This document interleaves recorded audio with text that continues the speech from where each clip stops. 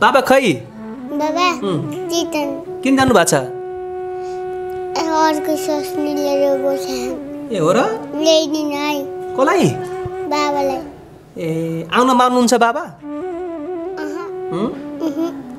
अनि कसरी ल्याइदिनु त हामीले बाबालाई? ए हो र? अब मालदाई धनी हुनुहुन्छ अब अहिले विदेशबाट छ कान्छा दाई युरोप हुनुहुन्छ। उनीहरूले के भन्छन् यसरी मागेर खाने इज्जत जान्छ हाम्रो। बाबाले के भन्नुहुन्छ भने कसको छोरी होस् भनेर तँलाई सोध्यो भने मेरो नाम नभन्नुहुन्छ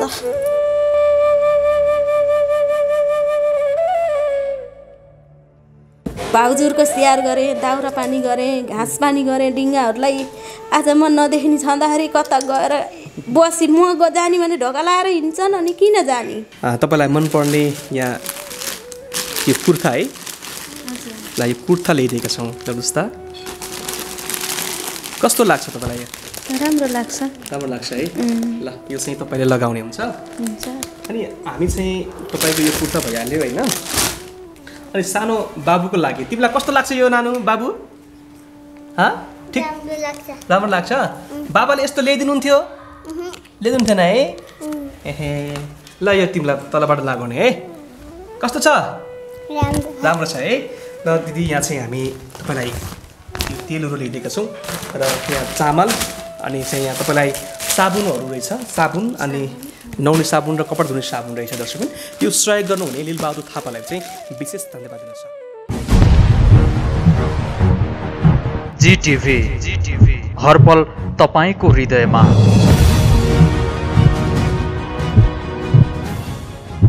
दर्शक नमस्कार। म दिपक नेपाली तपाईँ यति बेला जिटिभी हेर्दै हुनुहुन्छ।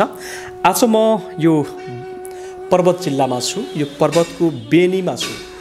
दर्शकबिन मैले चाहिँ यसभन्दा अगाडि दिदीको भिडियो बनाएको थिएँ। दिदी दृष्टिविहीन हुनुहुन्छ।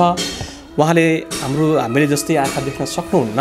उहाँका छोराछोरी पाँचजना छन्। तर एउटी छोरीले चाहिँ उहाँलाई घरबाट निकाल्ने प्रयास र आफै जन्माएकी छोरीले चाहिँ लुच लुछेर कुटपिट गरेर चाहिँ घरबाट निकाल्ने प्रयास गरेको श्रीमानले पनि घरबाट निकालेको र अहिले चाहिँ यो बेनी बजारमा आएर चाहिँ आफूले आँखा नदेख्ने भइसके पछाडि गीत गाउँदै माग्दै र छोराछोरीलाई पढाउँदै गर्नुभएको छ। सानो बच्चा चाहिँ काखमै छन्। उनी चाहिँ पढ्नबाट वञ्चित भएका छन्। उनी चाहिँ आर्थिक अभावकै कारण पढ्न नपाएर यसरी बन्द कोठामा बेनी बजारको बन्द कोठामा न यहाँ झ्याल छ न गतिलो एउटा व्यवस्था छ। यस्तो खालको बन्द कोठामा उहाँलाई हामी देखिराखेका छौँ। समाजसेवी हाम्रो लिलबहादुर थापा जुन हाल अमेरिकामा हुनुहुन्छ उहाँले त्यो भिडियो देखे पछाडि मैले थोरै मात्र भए पनि सहयोग गर्छु भनेर चाहिँ मलाई खबर गर्नुभयो र म यहाँ आएको छु। नमस्ते दिदी। नमस्ते। आरामै हुनुहुन्छ? आरामै छु। नमस्ते कान्छो। नमस्ते। कतिमा पढ्छौ? पाँचमा। आजभोलि किन स्कुल नगएको त?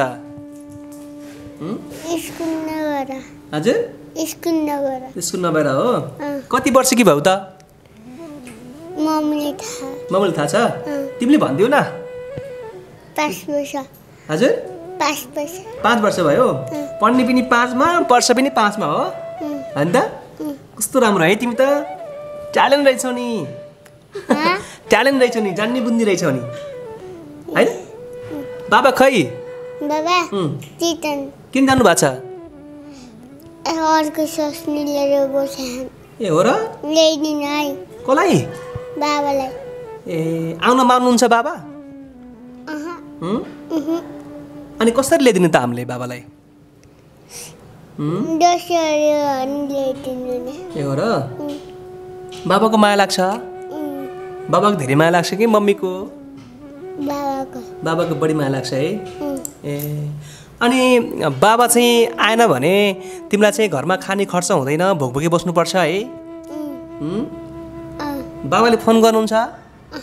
गर्नु न है। बाबासँग बोल्न मन लागेको छ? लाग्छ है। ए अनि किन रुनु लाग्यो त? किन रुनु लाग्यो त? रोको होइन। दुःख लाग्यो? दुःख लाग्यो? लाग्छ होइन। अँ, अनि छोरा चाहिँ ठुलो भइसकेको छ। कति वर्षको भयो छोरा? पाँच वर्ष भयो। ए पाँच वर्षको भए कतिमा पढ्छन्? शिशुमा हो यसलाई अब म अब गीत गाउन जाने अब छोरीको बिहा भइहाल्यो। छोरी घरमै बस्ने। अनि यसलाई गाडीले हान्देला अब मेरो छोरालाई कसैले लैजाला भनेर म अब गीत गाउनु लिएरै हिँड्छु पढाइ परेर जुन दिन आफै जाने हुन्छ त्यही दिन छोडुला भनेर अनि दिदी हामी तपाईँलाई चाहिँ तपाईँलाई मनपर्ने यहाँ यो कुर्ता है? ल यो कुर्ता ल्याइदिएका छौँ हेर्नुहोस् त कस्तो लाग्छ तपाईँलाई? राम्रो लाग्छ। राम्रो लाग्छ है। ल यो चाहिँ तपाईँले लगाउने हुन्छ।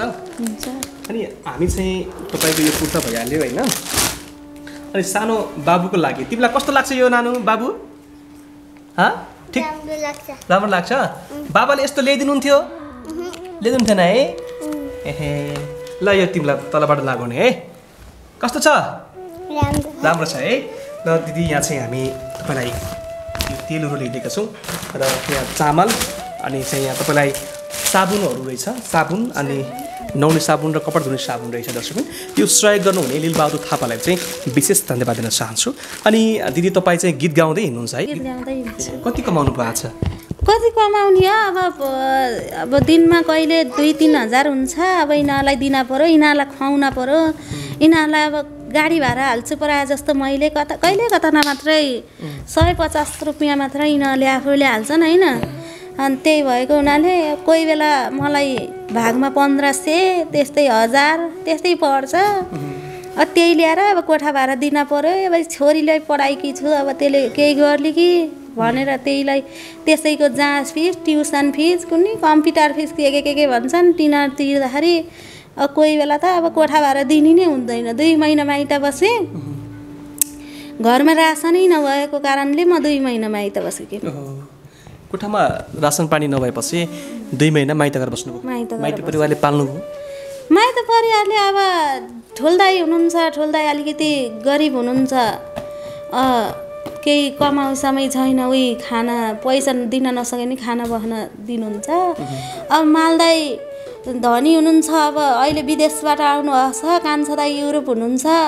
उनीहरूले के भन्छन्? यसरी मागेर खाने इज्जत जान्छ हाम्रो।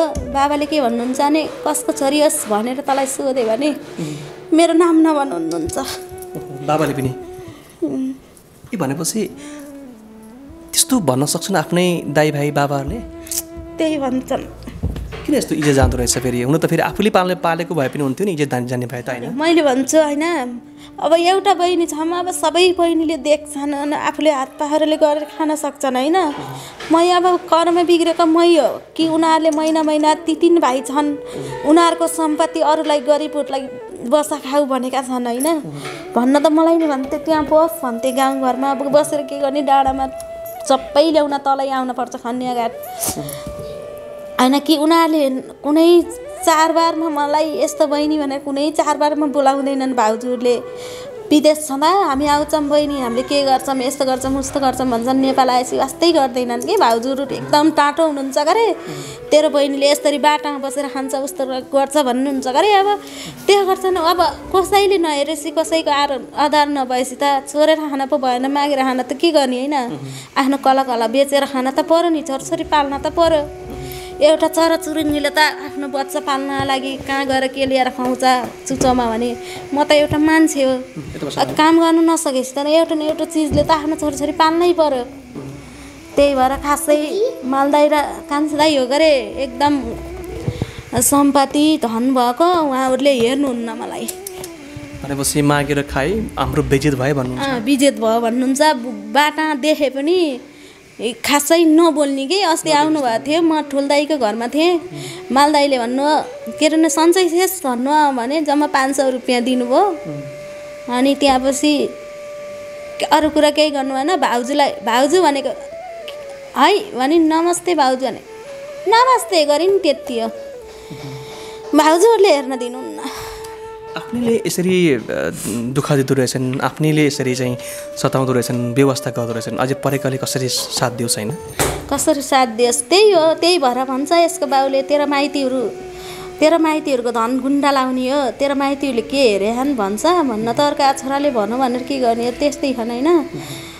तिन भाइ छन् ठाउँमा महिना महिना।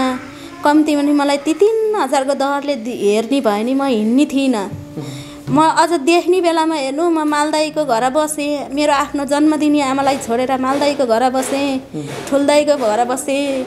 भाउजूहरूको स्याहार गरेँ दाउरा पानी गरेँ घाँस पानी गरेँ डिङ्गाहरूलाई आज म नदेखिने छँदाखेरि कता गएर बसी? म जाने भने ढोका लाएर हिँड्छन् अनि किन जाने? भनेपछि राम्रो हुँदा आँखा देख्ने हुँदा त तपाईँलाई तपाईँले सबैको सेवा गर्नुभयो राम्रो गर्नुभयो। कान्छो दाईको मात्र मैले केही गरिनँ। न त ठुल दाईको माल दाईको घरमा बसेर नक्कर जस्तो के?